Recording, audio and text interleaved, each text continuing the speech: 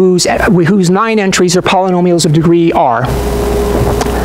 Then we're going to apply polynomial, uh, multi-point polynomial evaluation to each of those nine entries to compute m prime of 0, m prime of r, m prime of 2r, etc. Notice we're instantiating not at 0, 1, 2, we're instantiating it at multiples of r because m prime of 0 is the multiple, uh, is, is equal to the product of m, m of 0 times m of 1 times m of 2, etc.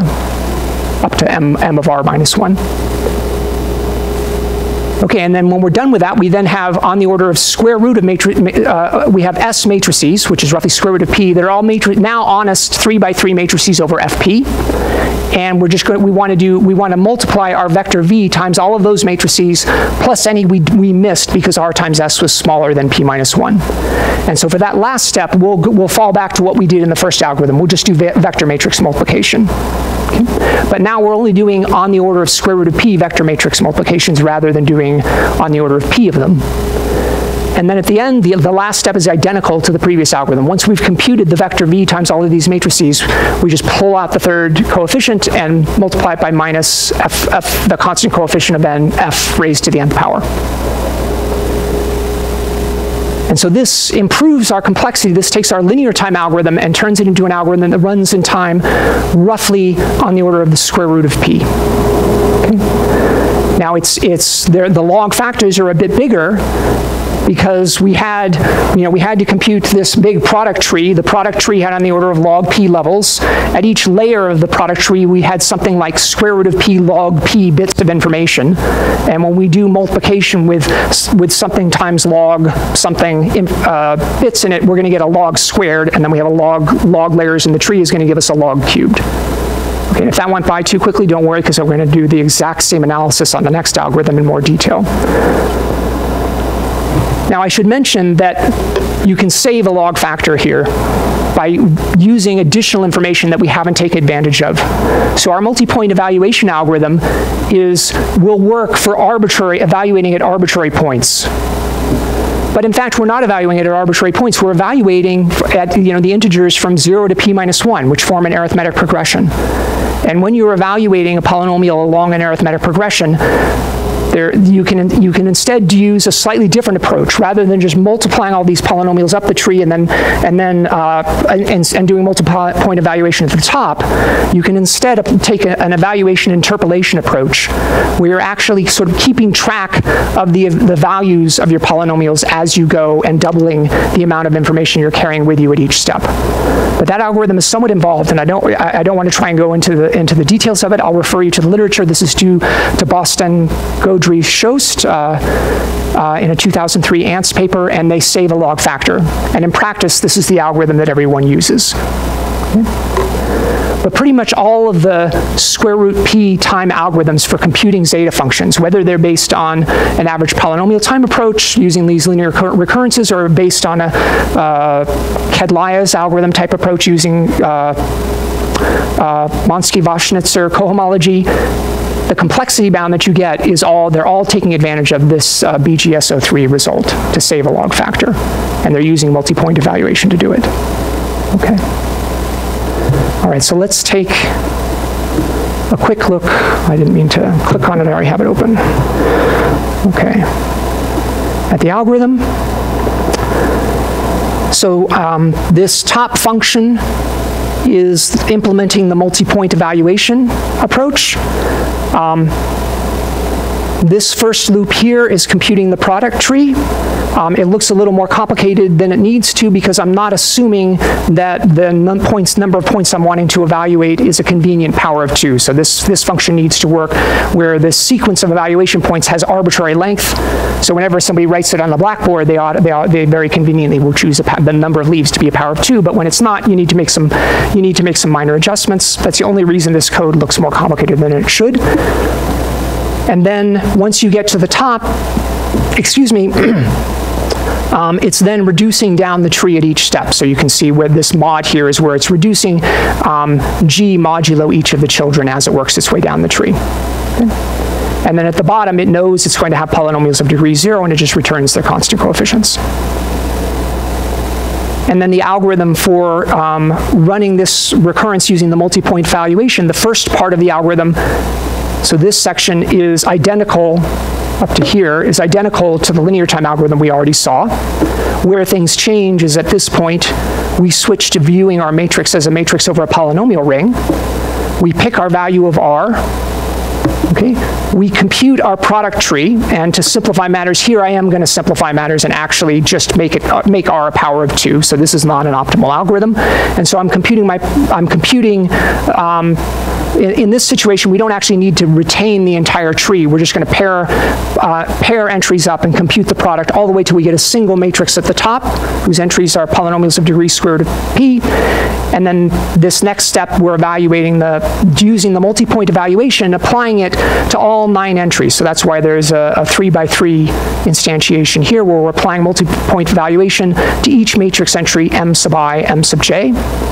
And then this line is computing the product of those matrices of the multi-point evaluations.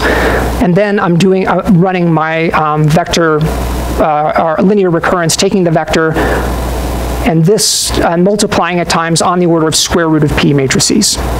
And then the last two steps are identical to the linear time algorithm. Okay. And I don't expect you to have all absorbed that in real time. I just want to at least walk you through it so hopefully in your head you can relate what you saw on the slide with the code so that if you ever want to come back to it and really dig into it and understand exactly what it's doing or maybe implement it in, in another system or in another setting where maybe you're not working with three by three matrices and maybe you're working with different linear recurrences, you have an example that uh, anchored in your head. Okay. Any questions on this algorithm before we move on to the average polynomial time algorithm? Okay.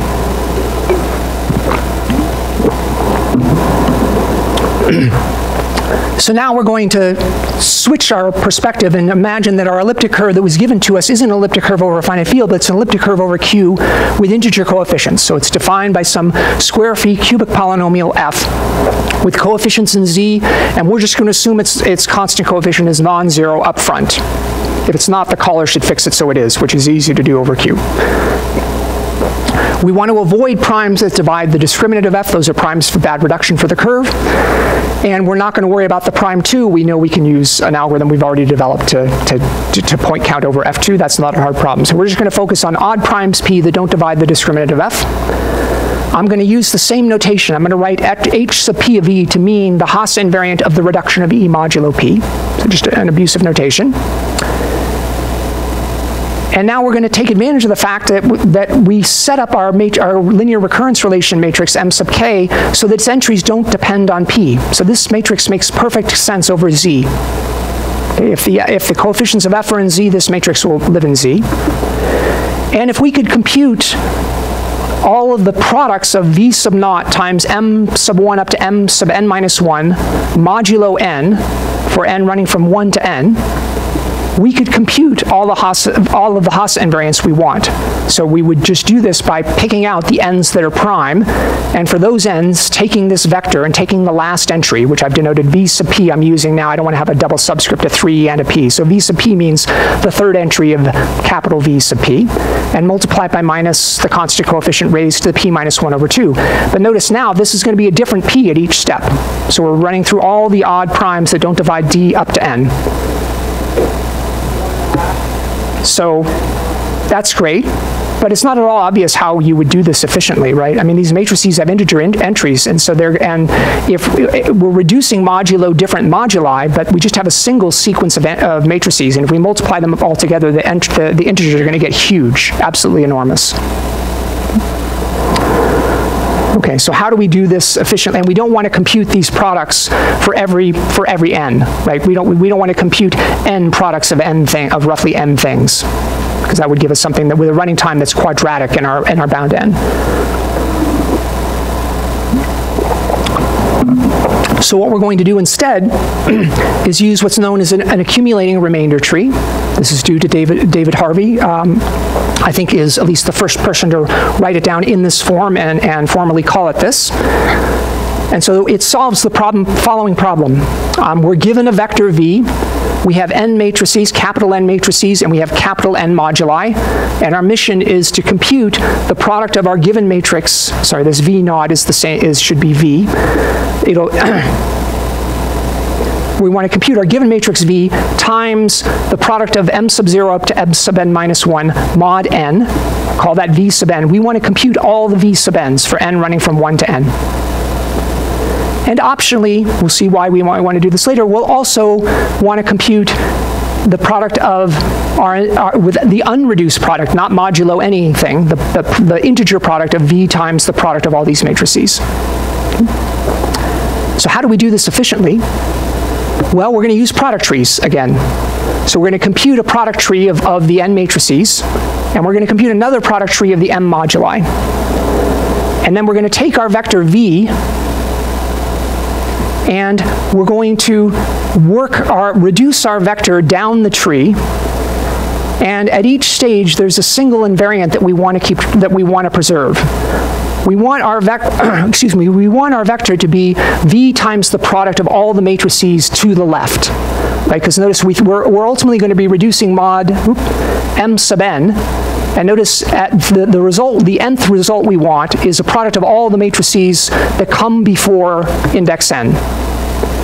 So if our mission is to, to make sure that uh, we have the vector times the product of all the matrices to the left, well, at the beginning, at the top of the tree, there's nothing to the left, right? We're at the very top. There's nothing sort of off to the left because we're at the root of the tree.